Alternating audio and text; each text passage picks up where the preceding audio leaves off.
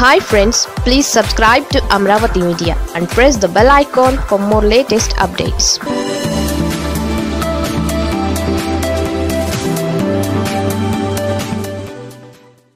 Raghurama versus Vijayasai Reddy రచ్చ పీక్స్కు చేరిందే.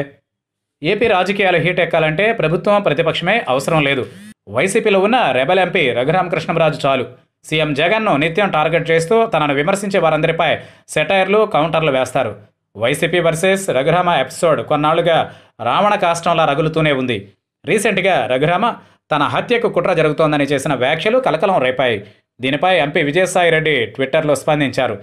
ఢిల్లీలో కూర్చుని నన్ను చంపేస్తారు అని ఏడుపు మొదలెట్టాడు. నర్సాపురం ప్రజలకు మొహం చూపలేక పబ్లిసిటీ స్టంట్ మొదలెట్టాడు అంటూ కామెంట్ చేశారు. దీనికి రఘురామ తనదైన స్టైల్లో రిప్లై ఇచ్చారు. విజయసాయిని ఉద్దేశిస్తూ వీడిని విశాఖ నుంచి తరిమేసి అండమాన్కు పంపేస్తే మళ్ళీ వచ్చేశాడు. సీఎం చేతిలో ఎన్నిసార్లు తన్నులు తిన్నా సిగ్గులేదు. రేపో మాపో వీడు కూడా నా దారి పడతాడు. వెయిట్ అండ్ సీ అని ట్వీట్ చేశారు.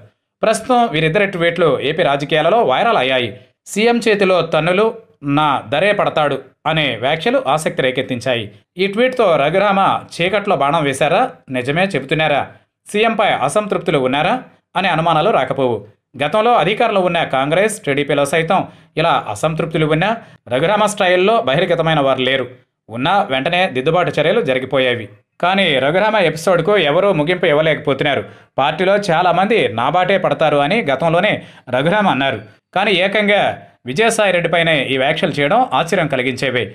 ఏది ఏమైనా ఒకే పార్టీకి చెందిన ఇద్దరు పార్లమెంటేరియన్లు ఒకరికొకరు వాదులాడుకుంటూ తమ ప్రతిష్టను రాజకీయ నడివీధిలో పెట్టేశారనే చెప్పాలి. రెండు పార్టీల మధ్య మాటల యుద్ధం జరిగితే ప్రజలకు ఇంపుగానే ఉంటుంది కానీ స్వపక్షంలో ఉన్నవారే ఇలా చేస్తే అది కంపు అవుతుంది. అయితే వీటన్నింటికి ముగింపు రఘురామ రాజీనామా చేస్తే ఉప ఎన్నికలలో గెలుపెవరదో తేలాకే అని చెప్పాలి.